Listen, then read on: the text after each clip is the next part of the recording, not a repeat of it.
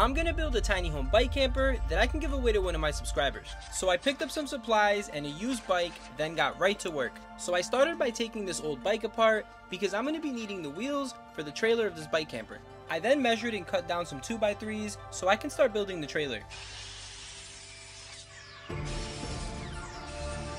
And I'm using 2x3s for the sides and 2x2s for the middle and spacing them apart every 10 inches or so.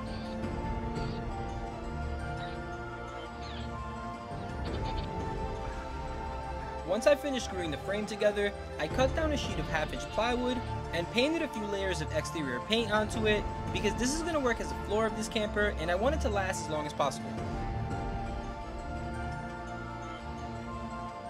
After letting it dry for about an hour, I put it onto the frame that I built earlier and screwed it into place.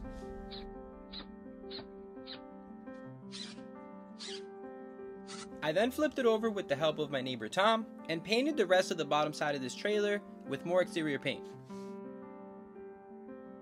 I then put caulking in between all the cracks to try to keep it as airtight as possible. The next step was to start building the walls of this camper, so I picked up a few sheets of half inch plywood and drew the design of the camper onto them. Once I had the exact shape that I wanted, I cut it out using my jigsaw. Then took another sheet of plywood and placed the piece that I just cut over it, traced it, and cut that one out as well.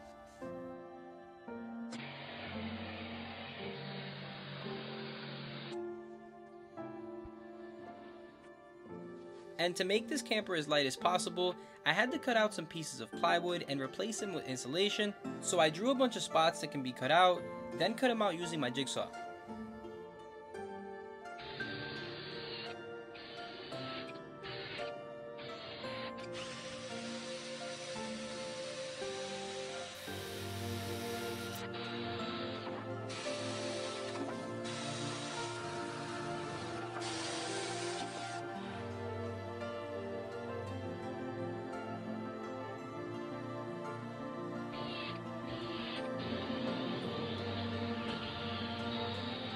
The next step was to trace the half inch piece of plywood over a half inch piece of insulation, then cut out the insulation to be able to fit into the piece of plywood that I cut out earlier.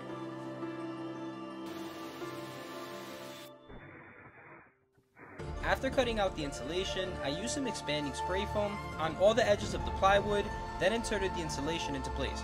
This stuff is super sticky and expands really well, so it'll make sure this insulation doesn't go anywhere.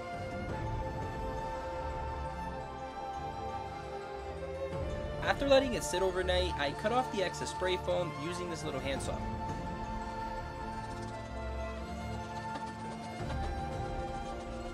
I then measured a bunch of 2x2s down to 30 inches and cut them out using my miter saw.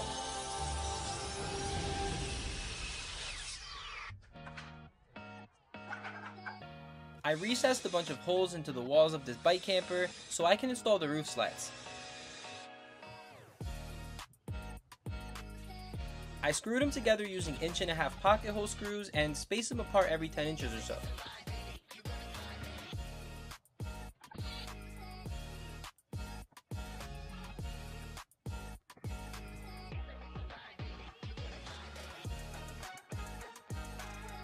Once I finished installing all the slats, it was time to install the roof, so I cut out a piece of 2 inch foam insulation and this stuff isn't very flexible, so I used my square and drew out a bunch of lines on every spot that this insulation would have to bend. Then set my skill saw to about a quarter inch and traced out all the lines that I made, which was super time consuming, but I got it done.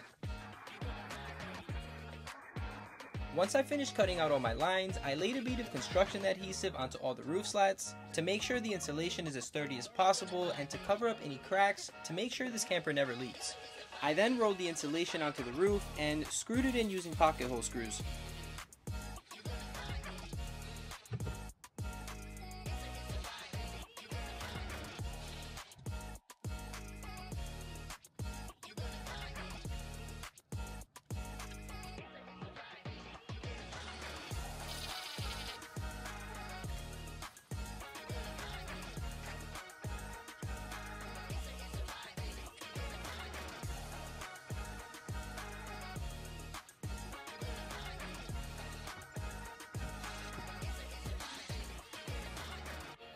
Once I finished installing the insulation, I used some more adhesive to fill in the gaps and screw holes. because I'm going to be fiberglassing this camper and I want it to be as smooth as possible.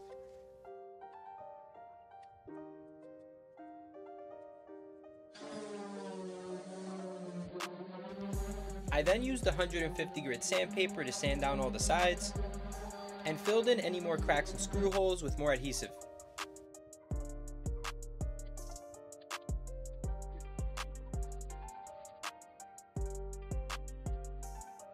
After letting the adhesive dry for about 3 hours, I brought the camper shell onto my sawhorses so I could start fiberglassing it. And to fiberglass this camper, I'm using clear cast epoxy because normal fiberglass epoxy melts the insulation, basically ruining the whole project and we don't want that. And this resin epoxy takes a lot longer to harden and I can only do one side of the camper at a time. So fiberglassing this entire camper took me about three days which sucked really bad because I really wanted to get this video out to you guys. So if you're watching this now, I really appreciate the patience. And the reason I decided to build another bike camper is because I've got hundreds of comments and emails of people telling me they really want me to build another one. But these bike campers cost a pretty penny and take a decent amount of time to make. And making one of these bike campers every week, then giving it away, would cost me way more money than I make, which would probably make me go homeless. And I have two kids, two dogs, a wife, and myself to take care of. So I make other building videos in between these bike camper builds to help generate some money so I can pay my bills. So when you see one of my other building videos, just click the play button because it really helps me out. And this camper cost me about $720 to build, which came out of my personal pocket. And I'm to be giving it away to one of you guys that are watching. So if you want it, give this video a thumbs up, share it with one of your friends, and comment down below why you think you should have it. And I'm to carefully read through all the comments and pick somebody in the next few weeks. Getting back to the video, I rolled down a thick layer of resin onto the entire camper, then laid the fiberglass cloth over it and tried to take out as many wrinkles as possible, then laid a bunch more resin on top of the cloth and used my squeegee to spread it out. This is going to give the camper a nice hard shell on the outside that we can paint and also make sure the camper never leaks.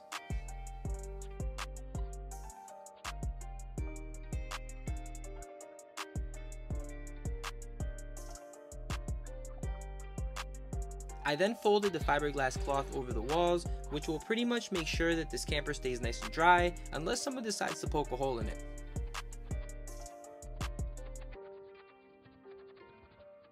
I then let the shell of this camper sit overnight and started to make the door.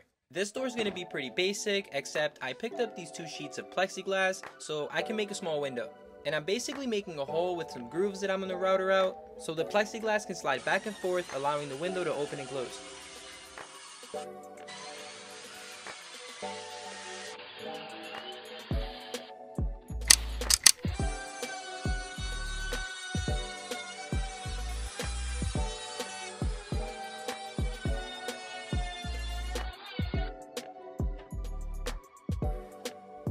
After I cut out my hole, I sanded the entire door using 150 grit sandpaper so I can start to lay some resin. The resin that I'm using is a 1 to 1 ratio and I mix it for at least 2 minutes, then I dump it all onto the door so the door can absorb it before adding the fiberglass sheet. This will allow the fiberglass cloth to stick to the door properly because we don't want this thing peeling off.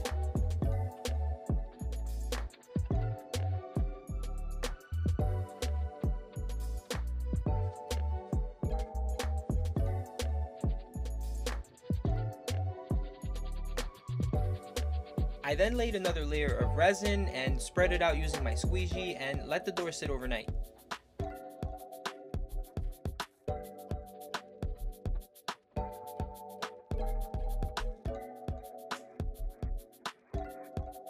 The next day, I cut off the remaining fiberglass cloth, gave it a quick sanding, and painted the entire door using oil-based exterior paint that I had tinted this nice gray color.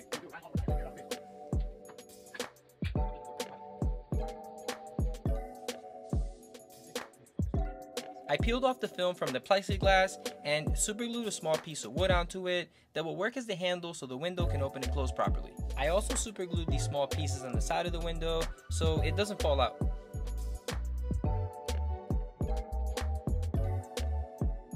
And just like that, we have a window that opens and closes.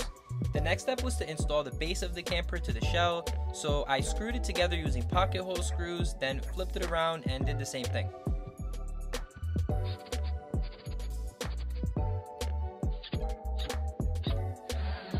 I then spent about 2 hours sanding the crap out of all the fiberglass to make sure it's as smooth as possible before I start painting it.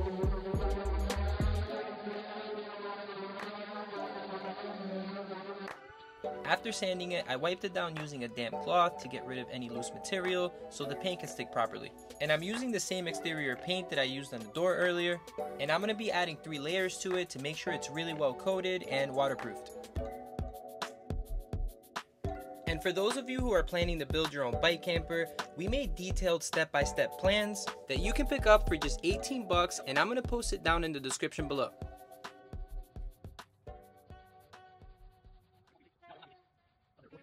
The next day, I flipped the camper over and started to build the brackets that'll hold the wheels. And I'm basically using 2x3s to build a box to hold the axles of the wheels to allow them to spin properly. And while I did this, my friend Tom painted the entire interior of this camper, which was a super big help, so thank you Tom. I cut down a bunch of small sections of this metal rod in order to hold the wheels in place.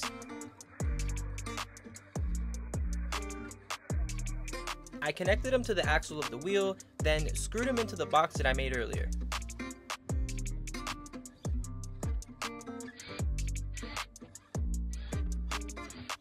I made sure the wheels were as straight as possible before screwing them in so they can spin properly, tightened it down, then Tom painted another layer of exterior paint to the bottom of the camper to try and preserve it as best as possible. I then added some adjustable legs to it that I built earlier to help keep it stable while someone's inside of it. We then flipped it over and it was time to add some black stripes to it to try to make it look as nice as possible.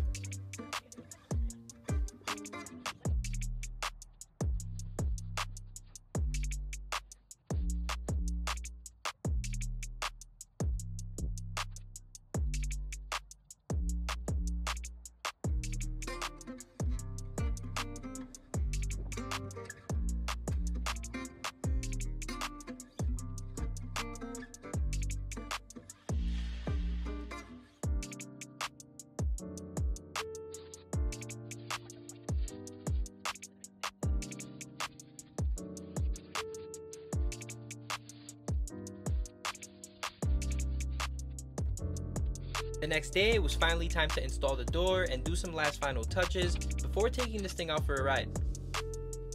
We added a door stopper and painted it, then added the door hinges, and screwed the door directly into the camper. After making sure it opened and closed properly, I added a handle, a little bracket so you can add a padlock, and reflectors to the back of it so people can see it at night. And to pull this camper, Mooncool sent us one of their e-bikes that we're also going to give away with this camper. This thing has dual motors, which makes it all-wheel drive. It's got 4-inch fat tires, it goes up to 20 miles per hour, and has up to a 45 mile range with a 350 pound weight capacity. So thank you Mooncool for sending us this e-bike, we really appreciate it. I'm going to link them down in the description just in case anyone wants to get one. But now that the camper's all finished up, let's take this thing out for a ride.